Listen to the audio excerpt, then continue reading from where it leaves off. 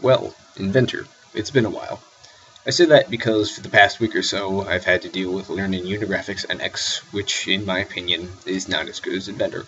But you don't want to hear about that. You want to hear about iProperties, and rightly so. Because the iProperties are the place where just about everything you want to know about what you're working on is located. For example, I have here a part.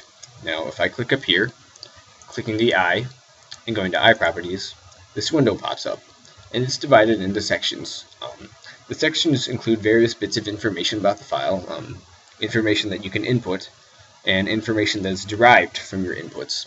Um, general information about the file is here. It's pretty self-explanatory.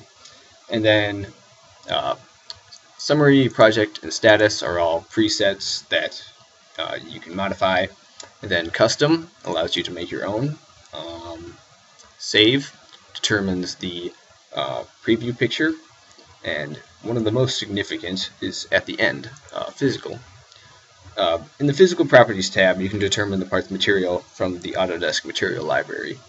Now, note that material is not to be confused with appearance, as they're independent of each other.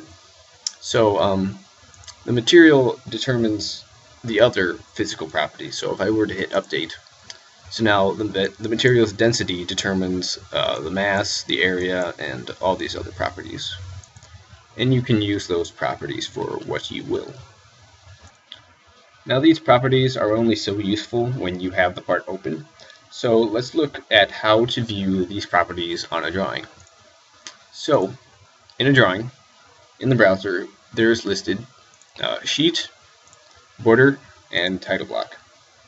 Um, properties are displayed in the title block, so if we right click title block and go to edit definition, we gain access to what properties are displayed.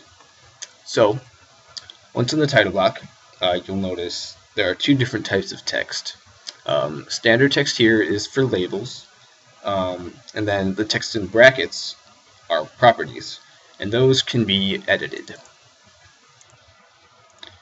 For example, if I were to say double-click company and wanted to change it to something else, say material, then I can go to this list, uh, select the model properties, and find material,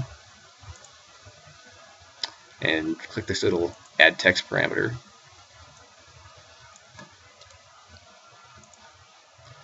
Then it show, it'll show the material instead of the company. So if I go and say the title block, and go ahead and place a part